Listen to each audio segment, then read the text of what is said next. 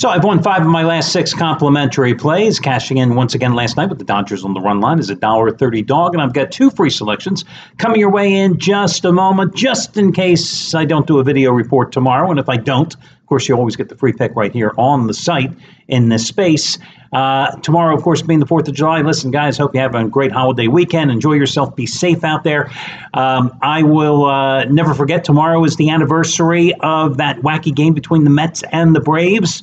Remember, July 4th, 1985? I vividly remember. I had just started working at a place called Dial Sports in suburban Philadelphia, where, yes, boys and girls, in the days before the internet, before cell phones, before even sports pagers, if you wanted to get the score of a game, you would actually call a local number and pay, yes, pay anywhere from 5 to 15 cents per call to get your scores. And it was huge.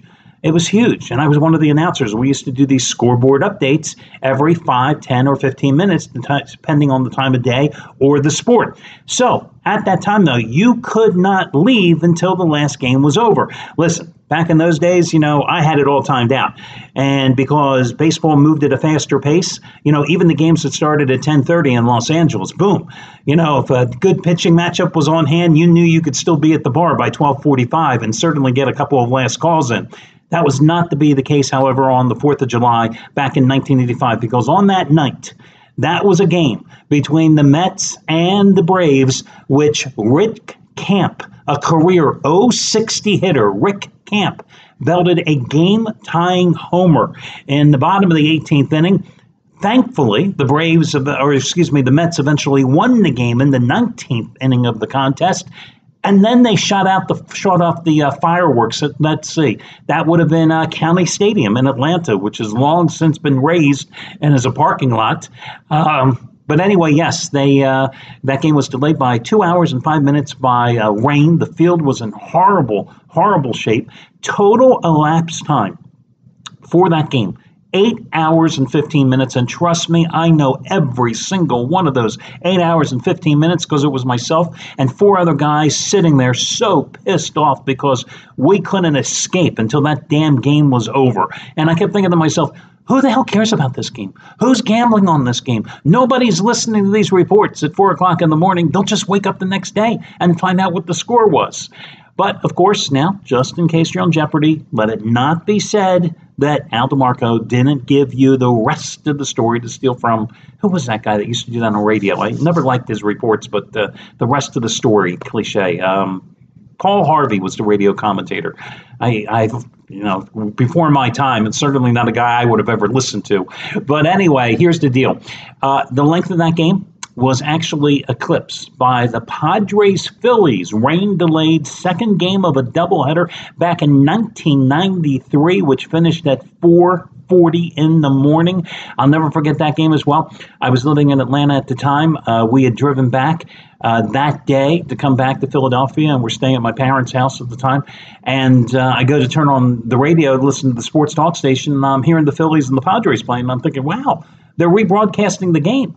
And then I hear the announcers, Harry Kalas, and I guess it was Richie Ashburn at the time, talking about fans were actually coming into the stadium at three in the morning because the game was still going on. And I'm going, this is live? But yes, that game finished at 4:40 in the morning. So there you go. Can't be said that I didn't prepare you to win on Jeopardy. Let's get to your complimentary plays. First game, I'm going to go with the Giants and Alberto Suarez uh, at Arizona against Robbie Ray. Yeah, the Diamondbacks won yesterday. Okay, they won a game. Back In fact, they rallied from a four-run deficit, got a three-run homer in the eighth inning to actually beat the Giants yesterday. The bottom line, however, the road team had won the first nine meetings in this series. Now, the Giants have won three of Suarez's last four starts, and this is his sixth start of the season. He's already made six relief appearances as well. He's filling the void for Matt Cain, was once again on the disabled list. Listen, in those last four starts he's made, again, three of them Giants wins. San Francisco has given him plenty of run support, 33 runs scored. Robbie Ray going for Arizona, he has a 5.91 earned run average and eight home starts this year.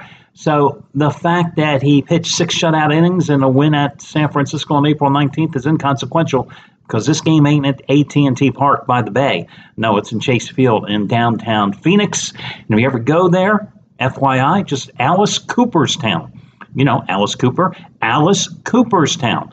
Great restaurant there, live music facility.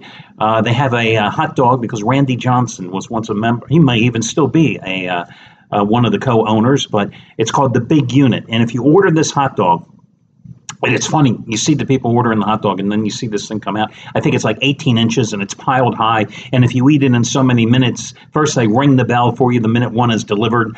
And if you eat it, you want a t shirt or something like that. It's this monstrosity, but a great place, a lot of memorabilia, cool place to eat. So if you happen to be down there, uh, it's only a, uh, you know, hop, skip, and a jump away from Chase Field. And uh, I can't think of what the arena is where the Suns play as well. So Alice Cooperstown. Uh, also, Diamondbacks 14 and 29 at home this season. Uh, your other complimentary play, the Texas Rangers got bludgeoned yesterday at Minnesota as the Twinkies. Uh, what scored 17 runs yesterday? I don't think the Twinkies are scoring 17 runs today. Hell, they may not even get seven hits today. That's how good Cole Hamels has been. Rangers have dropped four of their last five, a streak that, uh, or three of their last four, a streak that coincides with Hamels' last outing, which was a brilliant seven inning shutout performance at New York against the Yankees in the Bronx. Uh, the bottom line is this on the road this year, Hamels 6 and 0 1.44 earned run average.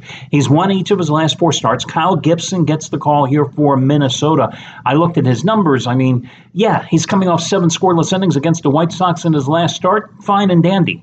That only, only lowered his earned run average on the season to 5.12. So I'm going to go with the Rangers here. Not a bad road favorite chalk price of like a dollar forty, and I'm going to go with San Francisco as well. The Giants a little bit of a road dog here Again, they're a road dog in a series in which the road team has won 9 out of 10 this season. Go figure. That'll do it, guys, for your Sunday video report. I'll talk to you again maybe on Monday. If not, I'll see you on Tuesday. Good luck, everybody.